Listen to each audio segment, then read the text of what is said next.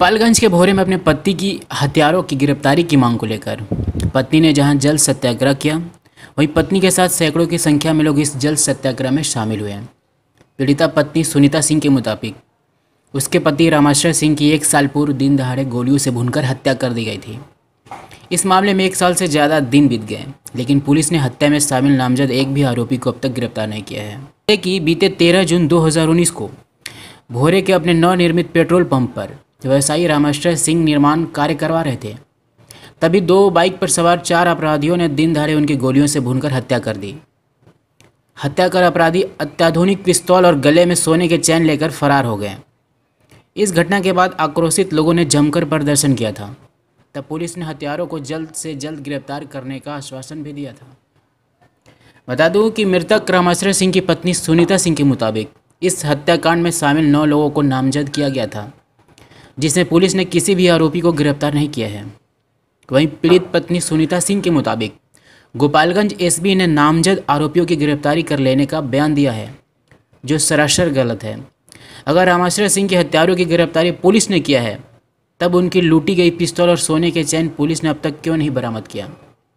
सुनीता सिंह ने धमकी देते हुए कहा कि उनका यह जल सत्याग्रह का आंदोलन तब तक जारी रहेगा, जब तक कि अपराधियों की गिरफ्तारी नहीं हो जाती।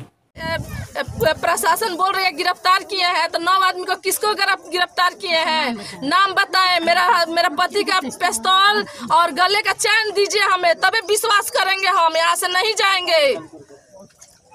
हम यहाँ से जेबे नहीं करेंगे। नीतीश कुमार जवाब दीजिए दीजिए, प्रशासन जवाब दीजिए।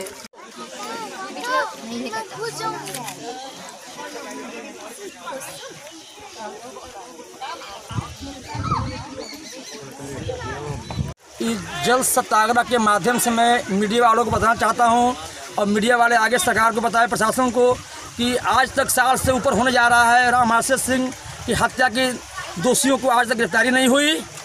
और जो मैं उस न्याय के लिए आज तमाम लोगों के साथ जनता जनार्दन के साथ जो है मैं जल सत्याग्रह में खड़ा हूँ और न्याय नहीं मिलता है तो मैं इस करवा को आगे जिला से आगे बढ़ाऊँगा। कब तक खड़ा रहेंगे आप? हम कब तक खड़ा रहेंगे ये अनिश्चितकालीन है।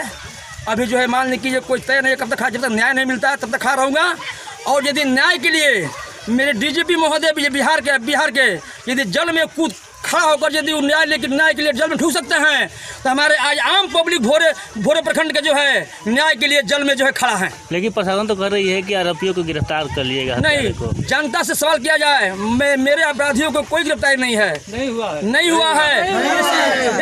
एस पी साहब कोई भी सूचना नहीं दिए हैं। जनता में आक्रोश है क्योंकि आप यदि गिरफ़्तार हुई होती तो रामाश्य सिंह का पिस्टल आर्नामेंट जो है मुझे आज तक सूचना दिए होते कि मिल गया है।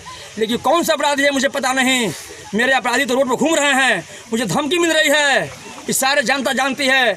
अब जनता से आए हैं तो पत्रकारिता मीडिया के माध्यम से जनता के भी आवाज़ पहुंचाएँ कि रामाश्य सिंह की हत्यारों की गिरफ्तारी हुई है कि नहीं हुई है? मेरे देखने में नहीं हुई है रोड रोड पर घूम रहे हैं नाम बता दीजिए। नाम बताइए अपना। मेरा नाम हरनारायण सिंह है।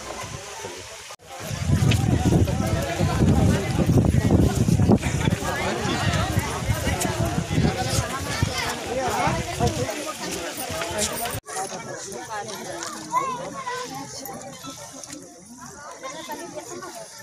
you.